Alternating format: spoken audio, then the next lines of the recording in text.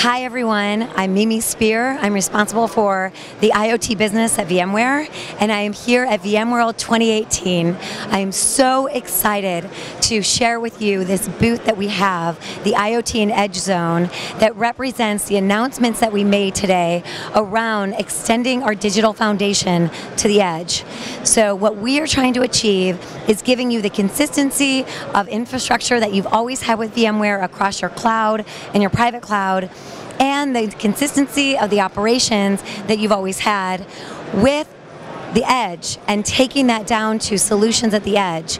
We're focused on the device edge, which is where we have Pulse IoT Center 2.0 that we also announced that will scale up to a half a billion devices and help you manage, monitor, and secure across all your IoT endpoints, as well as the compute edge. And the compute edge, we announced Project Dimension, which is so exciting around what we're going to do to enable our hyperconverged technology and our ability to do management as a service at the edge.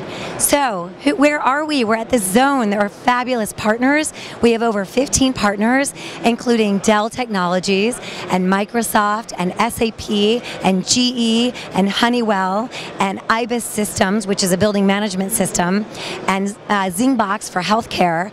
And we're showing multiple different things. We're showing that across industries with a digital foundation from VMware and our partners, whether it be hardware providers or application and analytic and IoT platform providers, we can offer end-to-end solutions for our customers that will really be complete.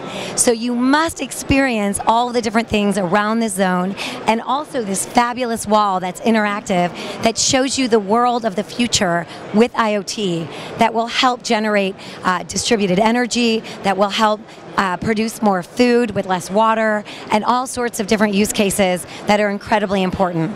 So thank you for coming to VMworld, and we hope you enjoy the show.